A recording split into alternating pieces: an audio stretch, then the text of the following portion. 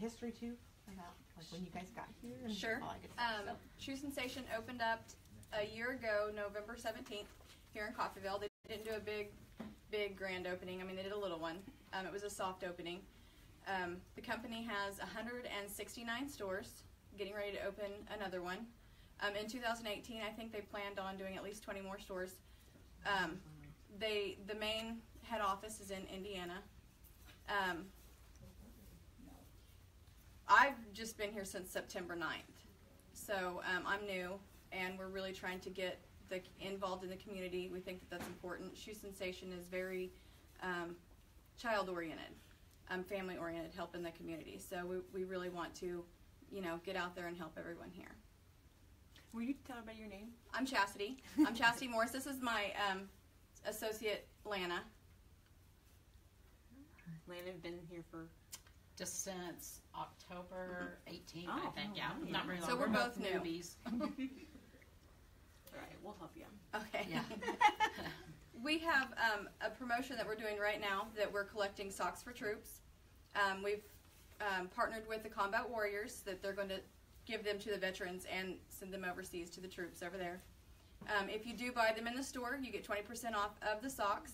However, you do not have to purchase them from here to donate them. We just you just dump them in the box. Um, we also accept shoestrings. Um, our event this two weeks till I think it is December 12th is the Bearpaw. We're going to be focusing on selling the Bearpaw with, um, I think for the next two weeks we have a 20% off coupon that just came out in the mail. Um, if you do not have your coupon, you can always get one here. We usually have some on on hand. Um, and every Friday is kind of like a Black Friday here. We have extra big sales from Friday till Sunday. So Gonna tell 'em about your the kids coloring contest. we are going to have a kids coloring contest. Um, we're gonna we have coloring pages out here. The winner of the kids coloring contest gets a five dollar gift card, um, probably from one of the local restaurants, so they can go and get ice cream or something. We're also going to be doing shoe parties. So if anybody's interested in hosting a shoe party, um, be sure to let me know. We have it has good benefits. What you do is contact one of us.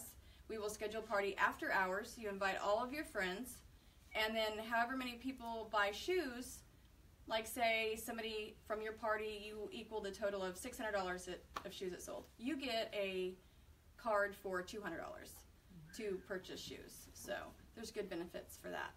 And the people at your party get 20% off of their Right. purchase. That's right.